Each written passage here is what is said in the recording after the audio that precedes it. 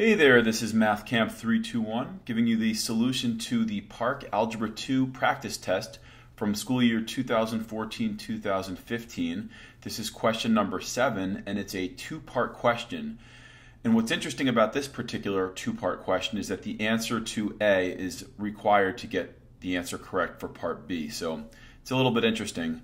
It asks us to consider the equation x squared plus 2xy plus y squared times x plus y equals 64. And the part A says, what is the value of x plus y?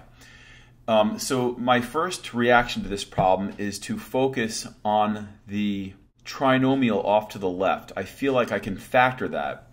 And in fact, I can. And it factors as x plus y quantity squared. So I'm going to go ahead and write that.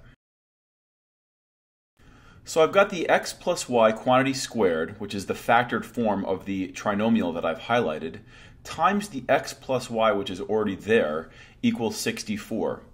Now, I've got chunk squared times chunk to the first, and when we're multiplying powers of the same base, we can retain the base and add the exponents. For example, if I saw x to the third times x to the fourth, I could simply write this as x to the seventh. So instead of having an x, I'd actually have, a, a, this chunk x plus y. So this is going to be x plus y to the third equals 64. And what I can do now is take the cube root of both sides to isolate the x plus y.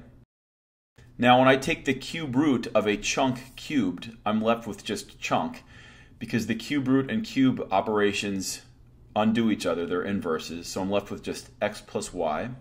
And the cube root of 64 is just 4. And this is what they want in question part A, 7a. They just, what is x plus y? So x plus y is equal to 4. And this is multiple choice, and it's one of the answer choices. So that's going to be choice B.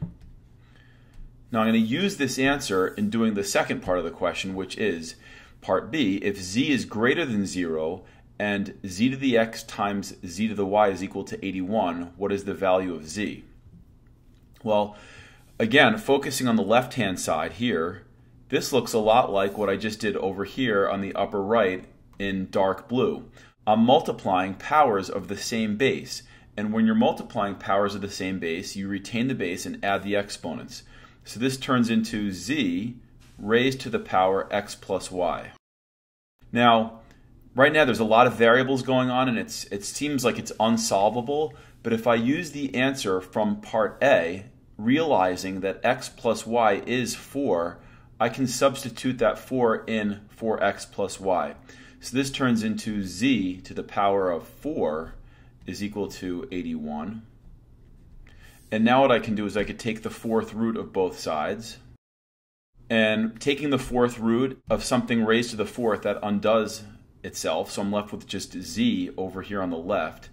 And technically, because I'm taking an even root, I'm left with plus or minus 3. The fourth root of 81 is 3. But the question stipulates that we're only supposed to consider when z is greater than 0. So right here it says z is greater than 0, which means I'm only going to look at one of these answers, and the answer is going to be z equals positive 3. That's the only answer that meets the initial condition.